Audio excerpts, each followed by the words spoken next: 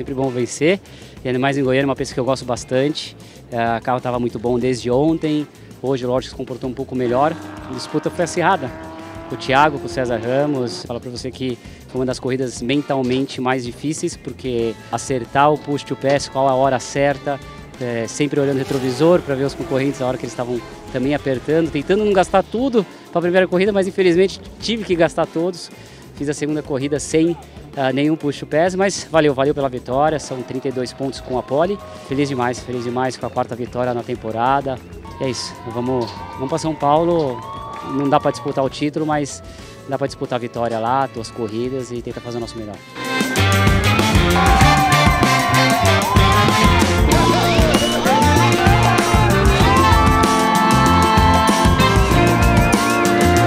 Eu larguei em 13 terceiro, então a estratégia eu defini ali depois da largada, apesar de eu já estar tá pensando em fazer uma corrida 2, mas eu consegui fugir dos acidentes, dos problemas ali, poupei muito o carro, enchi o tanque ali, tudo que precisava e o carro muito rápido. Sabia que tinha um carro para ser competitivo na corrida 2, a equipe fez um pit stop muito rápido e acabei voltando em primeiro, deu certo aquilo que a gente imaginou, né? O carro muito rápido, consegui manter a distância, cuidando sempre do pneu. O pneu durou até a última volta, com bastante push, então uma corrida que deu tudo certo.